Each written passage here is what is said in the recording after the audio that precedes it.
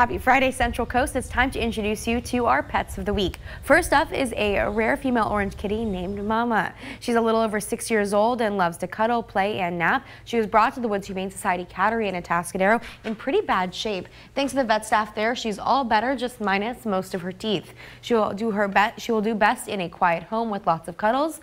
And now turning our attention down the street to the county animal shelter for a dynamic trio. These three lovely ladies are best friends and love to play, run, and bounce around. Maya, the, the brown and white pit bull terrier mix, is just three years old. Petra shares her breed and is just two years old. And Juliet is a small husky, and they do not need to be adopted together.